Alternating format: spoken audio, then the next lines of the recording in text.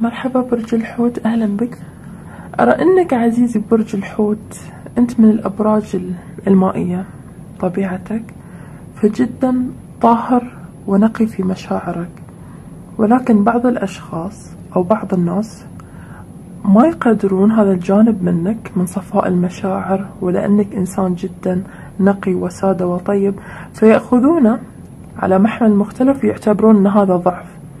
ولكن طبعا هذا ليس ضعف وهذا موطن قوتك. لأن أرى أن في شخص احتمال تقدم لك أو سيتقدم لك.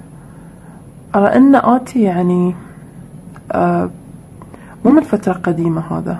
هذا الشخص إما سيكون في الحاضر أو المستقبل. احتمال أنه سيتقدم لك ولكن طاقتكم كأنها ترجع العكس. لأن هذا الشخص راح يقع في الكثير من الأغلاط باتجاهك في البداية ومن ثم سيرجع عشان يصحح الوضع.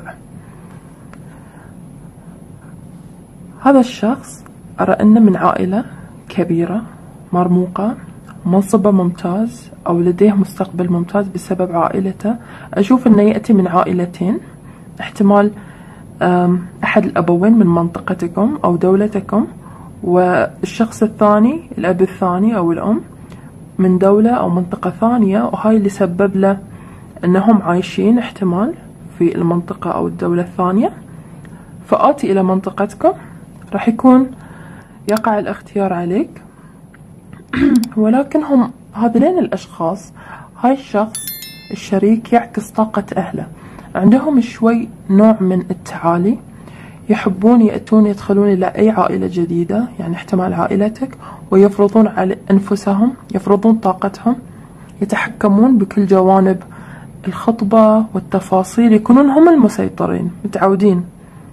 دائما معروفين إنهم المسيطرين وأنتم مو أول أشخاص راح تتعاملون مع هاي العائلة وتشوفونها بهالطريقة. يعني هاي بالنسبة لهم مثل النمط. معروفين إن شوي عندهم تعالي. وهذا الشخص أيضا يعكس البيئة اللي تربى فيها. ينظر ينظر إلى نفسه أنه هو أفضل خيار بالنسبة لك. يعني كأنه ينظر لنفسه أنه هو الملك أو الأمير اللي راح يخطب بنت الفلاح مثلا أو إنسانة بسيطة. حتى لو ما كانوا مو شرط يكون عندهم فعلا أموال أكثر منكم مو شرط. ولكن هم ينظرون إلى نفسهم أنهم أفضل بغض النظر. هم فعلا من عائلة محترمة وكبيرة. ومثبت مثبتة نفسها يعني احتمال يكونون شوي أرستقراطيين. ولكن جدا غلطانين في وجهة النظر لأن احتمال أن أنتم فعلا أشوف أن لديكم أيضا. أنت عندك أصلا أسرة و... وكل ما يمتلكونه هاي الأشخاص احتمال موجود أيضا في أسرتك أو عائلتك. ولكن هاي الأشخاص هكذا نظرتهم أن نحن الأفضل نحن اللي نختار الشريك نحن اللي نفرض رأينا. فهاي الشخص لما يدخل حياتك راح يكون مثل أسرته أو ماشي على نفس نمط أسرته وهو الخطأ اللي راح يسويه راح يكون أناني معاك ويعتقد نفسه مثل ما قلت لك كأنه الشخص المنقذ إليك. وكأنه يعني أنه راح يخرجك من الظلام إلى النور بعرض الزواج وبعرض الحب ماله. ولكن هو جدا غلطان. الإيجو هي طاقة الشيطان الأوهام الخطأ الأنانية. راح يكون غلطان في وجهة نظره تجاهك وبطريقة تعامله أيضا. عندك Page of Water هذا الشخص مقلل من يعني قدرك بالنسبة له ليس كبير. يشوف نفسه إنه هو أفضل منك أحسن منك في المستوى. انت طاقتك Page of Water احتمال إنك متواضع. وأنت اللي قاعد تنتظره بزيادة. لأن هاي طاقتك الطبيعية طاقة الماء. فأنت متواضع حق هذا الشخص. أنت على طبيعتك عزيزي برج الحوت. ولكن هذا الشخص احتمال يكون من الأبراج الترابية. أشوف طاقة برج الجدي احتمال الثورة والعذراء بس هذا كرت الجدي. أو مو شرط إنه يكون من الأبراج الترابية احتمال يكون أي برج ولديه في في قائمة وتفصيل أبراجه له احتمال إن القمري عنده في الجدي أو عنده الكثير من عناصر الأرض والتراب في برجه. ما الذي سيحدث في المستقبل بينكم. بعد بعد هذا العرض البسيط اللي راح ما يليق صراحة بمقدارك أنت يا برج الحوت هو راح ينظر لك أو راح يكون الوضع إن دائما سؤال بينك وبينه أو بين أهله وأهلك إن أنتوا شنو راح تضيفوا لنا؟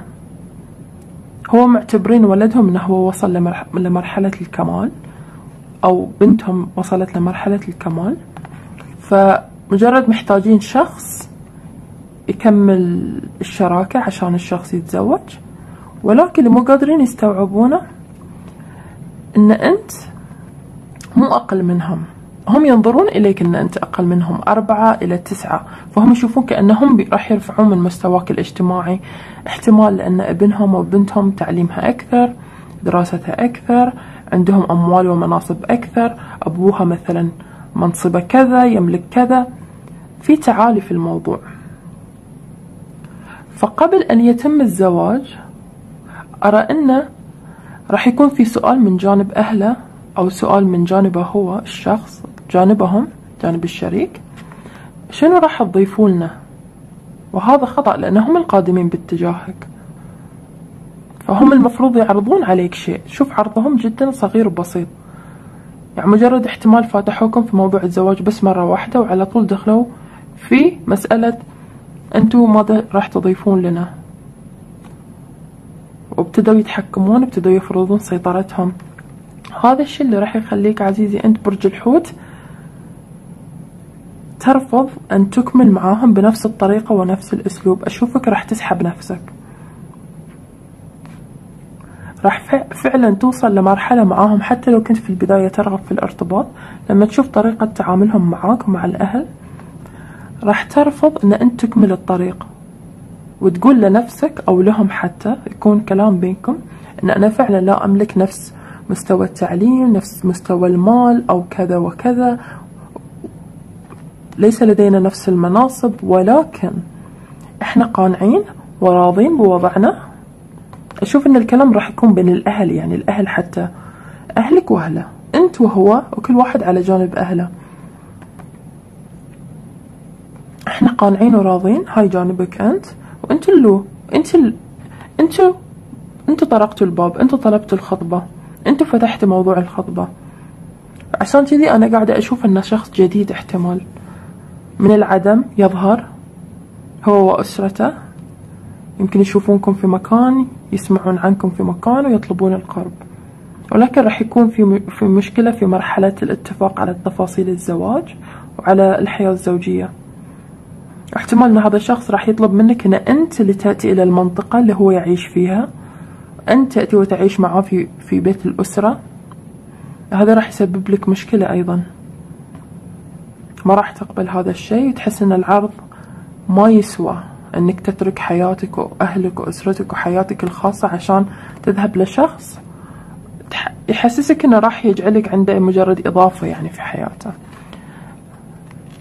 المرحلة القادمة بعد هنا راح يكون عندكم عرض زواج مثل ما قلت لك وهنا عدم قبول للعرض أو في ضوضاء حول العرض ما راح يكون في قبول يعني تام. أشوف أن هذا الشخص نفسه راح يكون جدا موهوم بأشياء كثيرة. طاقة طاقة الإنسان الموهوم. احتمال أن اللحظة اللي لا ما تتم فيها الخطبة هنا عندك لحظة لا تتم فيها الخطبة يتفركش الموضوع. على طول هذا الشخص أو أهله يقلبون وجههم راح يراونكم وجههم الحقيقي ويقولون لكم مثلا ولدكم أو بنتكم أو أنتوا أنتوا يعني يا برج الحوت لستوا الخيار الوحيد. إحنا لدينا الكثير من الخيارات نستطيع أن نخطبها لنا. لدينا الكثير من الخيارات إن كانت مرأة أو رجل الكثير من الخيارات. وولدنا أو بنتنا لديها الكثير من الخيارات. الموضوع ما راح يوقف عليكم ولكن المضحك إن فعلا العدالة الإلهية راح تتدخل والموضوع فعلا راح يوقف عندك يا برج الحوت. لأن هذا الشخص من نصيبك ولكن طريقة تصرفهم هي اللي عرقلت ووقفت الموضوع طريقة تصرف الأهل. أوكي. الموضوع راح يوقف عندك. ليش؟ لأن من سبعة الأكواب الخيارات راح تقل. ستة الأكواب. ستة الأكواب هي مرحلة الحبيب الأولي. رجع من سبعة صار ستة قل. فلما فعلا يروحون يتجهون نحو اتجاه ثاني يروحون فعلا يشيكون الخيارات الثانية اللي تشجعوا إن يتركونك ويذهبون من أجلها وبدل أن يعتذرون عن طريقة تصرفاتهم السابقة ويعدلون من أطباعهم. بالعكس راح يقولون لك سوري عندنا خيارات الموضوع ما راح يوقف عليك. باي مع السلامة. وراح يكتشفون بالطريقة المؤلمة المرة أن الموضوع فعلا هو نصيب وهو وقف عندك وطريقة تصرفهم خاطئة لأن اللي قاعدة أشوفه أن العدل الإلهي هنا الكارما راح تتدخل وتأتي إليك بحقك. فلو كنت منزعج من اللي حدث في هاي المرحلة أبدا لا تدير بال لأن المطلوب منك أن لا تحرك حتى شعرة واحدة. ولا حتى تتشمت باللي, باللي سيحدث لاحقا. لأن سيحدث الكثير لهؤلاء الأشخاص لهذا الشخص وعائلته اللي راح يكسر شوكتهم راح يكسر كبريائهم وغرورهم. لا يجب عليك أن تفعل أو تطلب أو حتى تدعو لأي شيء. العدل الإلهي موجود وراح يتدخل. هاي الكرت قاعد أفهمها بهاي الطريقة. ليش؟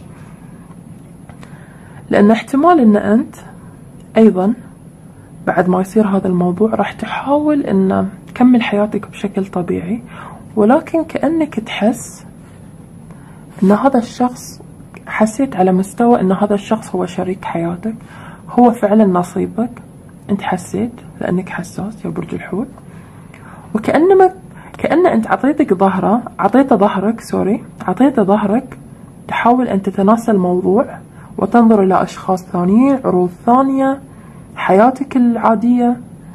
ولكن أحس دائما قاعد تنظر للأغصان اللي وراءك عندك ثلاثة أغصان. تنظر إلى الذكريات مع هذا الشخص علاقة الحب مع هاي الشخص. في أمور في الفترة البسيطة اللي كنتوا مع بعض فيها لحين عندك حنين إلى الماضي معه. فهو سيتجه نحو خياراته.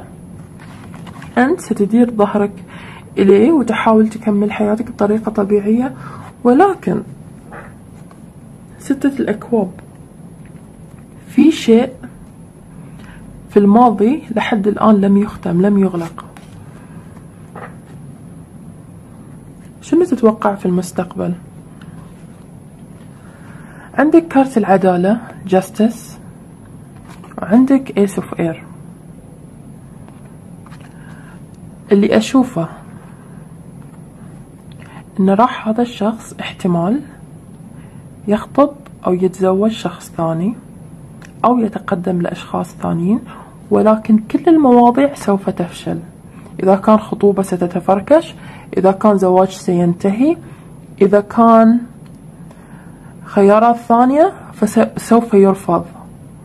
في النهاية كل الخيارات اللي تحدث عنها هو وأهله أو هي وأهلها كلها راح تكون يلاقونها مثل السراب غير موجودة. إما ترفض إما ترفض إما تنتهي إما تغلق في وجههم لأن العدالة الإلهية هي اللي قاعدة تشتغل عندكم. العدالة الإلهية أخذت الكنترول لأن هني كان في خطأ كبير قاعد يصير وعدم اتزان. في المعادلة بينكم. هذا الشخص بسبب اللي راح يصيده مع الخيارات الأخرى مع الأشخاص الثانيين راح ينجع يرجع لك بكل كل انكسار.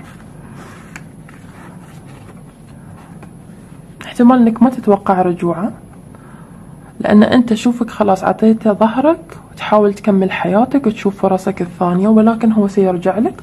وسيكون مكسور هو وأهله. مثل اللي إحنا نقول عينه مكسورة أو مستحي. راح فعلا ذيك اللحظة يستوعبون فيها ما الذي فعلا فعلوه. وأنك ما تفعل تجازى. هم تكبروا لحظة من اللحظات ومعاك ولكن راح يعرفون أن الله حق في هاي الموضوع. واحتمال أنه فعلا يرجع لك وأنت ترفضه أو تقول له لا خلاص ما أفكر فيك ما أقبلك بعد اللي صار. احتمال.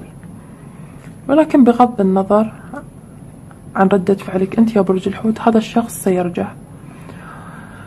لن يرجع بس هكذا سيرجع. أول شيء يعطيك حبه لأنه فعلا في حب وأيضا في نية جادة للزواج.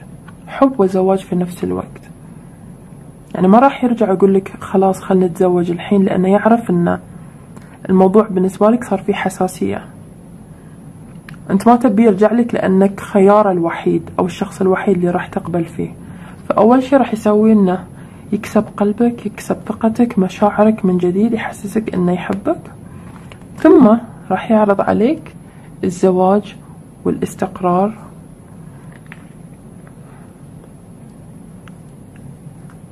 والبيت والأسرة والأطفال. عندك أربعة الأغصان. وهي طاقة يعني الحياة الزوجية أو عش الزوجية. عندك هايروفانت أو اليونيتي مأذون الزواج. يعني من الكارتات أشوف أنك راح تقبل عرضه بعد ما يعتذرون ويصححون أخطائهم هو وأسرته وعائلته. ليش هذا الشخص أشوف إنه من هاي الكارتات مو قلت لك هني عنده خيارات كثيرة؟ سبعة الأكواب. هذا الشخص هو برغبته على مستوى من المستويات يمكن حتى هو غير واعي غير واعي لهذا الشيء. على مستوى من المستويات هو اللي راح يسبب أشياء تفركش الخيارات الأخرى بالنسبة له لأنه هو يريد أن يرجع لك. ويحس أنه أي شخص غيرك راح يكون الشخص الخاطئ بالنسبة له. فراح يحاول أنه بقدر الإمكان الخيارات السريعة بسرعة يفركشها. إذا كانوا مثلا أهله يخطبون له فلانة وفلانة وفلانة هو راح يرفض ولكن بطريقة دبلوماسية. يعني راح يحسس أهله أن هذا الشخص غير مناسب. أنا مش رافض الزواج أنا مش رافض الارتباط. هذا الشخص غير مناسب. مو أنت لا الخيارات الثانية. وراح يرحل عن واحد واثنين وثلاثة وأربعة لين ما ينتهي من جميع الخيارات ويرجع لك. ولكن أشوفه في السابق هو تقدم لك بشكل رسمي أو راح يتقدم لك في البداية بداية قصتكم تقدم رسمي. ولكن في رجوعه راح يكون يحاول لأنه راح من طاقة الأهل والأسرة والعائلة إلى طاقة شوفني أنا بروحي.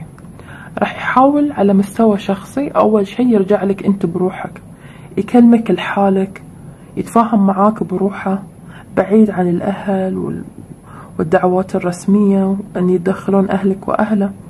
راح يحاول يتفاهم وياك على صعيد شخصي فقط أنت وهو. يعزمك على مكان يقترح عليك أن تذهبون لمكان معين للتحدث. ومن ثم عندما يأخذ من عندك الأوكي والموافقة راح يكون على طول. ارتباط حب وزواج وتأسيس الأسرة. راح يكون مستعد أنه يأسس معاك الأسرة اللي أنت فعلا تستحقها. يعني هو شنو الرسالة لك يا برج الحوت؟ أن فعلا هذا الشخص هو فعلا شريكك ونصيبك ولكن أحسن من أنك تقبله وهو في هاي الوضع الأولي معتبرين حالهم أنهم أحسن منكم أنهم أعلى منكم أنهم أفضل منكم أن متفاضلين عليكم لأن لأن عرضوا عليكم الزواج فهم متفاضلين عليكم.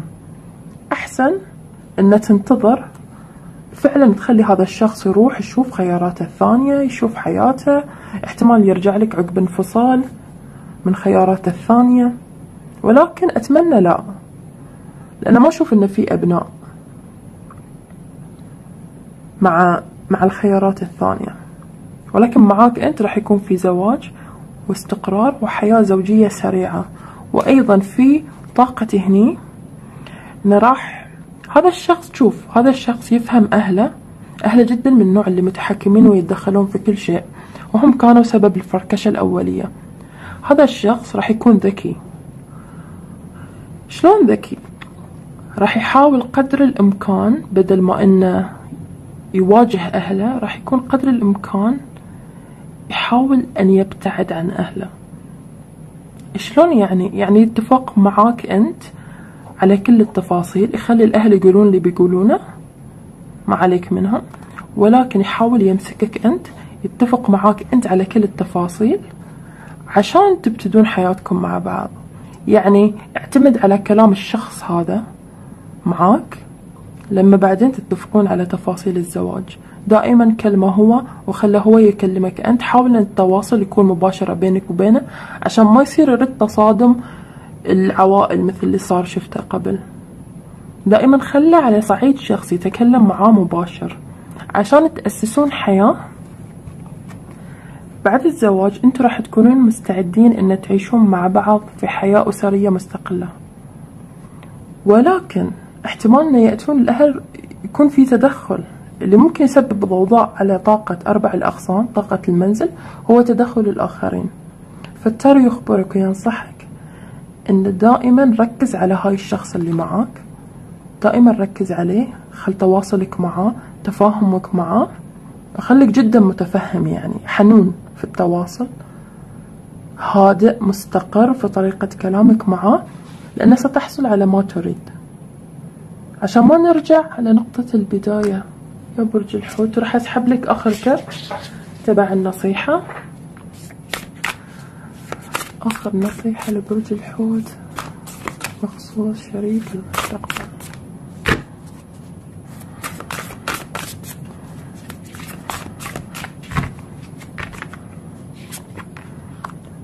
Like attracts like. If you long for more love be more loving. هاي الرسالة لك. إن يعني بما إن فاقد الشيء لا يعطيه فكن أنت في البداية كن أنت ما تبحث عنه. إذا أنت تبحث عن شخص يقدرك أول شيء أنت تقدر نفسك. فعلا خلي يشوف هاي الأشخاص خلي يشوفون أن أنت تقدر نفسك تقدر أهلك تقدر عاداتك وتقاليدك عشان هم يقدرونك. لا ترضى أقل مما تستحق. بس مجرد عشان ترتبط وتتزوج ولكن المشاكل راح ترجع تلاحقك. إذا رضيت في الوضع الأولي خلي الموضوع يتحول إلى المو... خلي الوضع يتحول إلى الطاقة الثانية. الطاقة اللي الشريك فيها واعي ومستعد إنه يتعاون. عشان تقدر تحول الموضوع بما يناسبك ويشبع رغباتك. شكرا عزيزي برج الحوت. أتمنى أنك استفدت.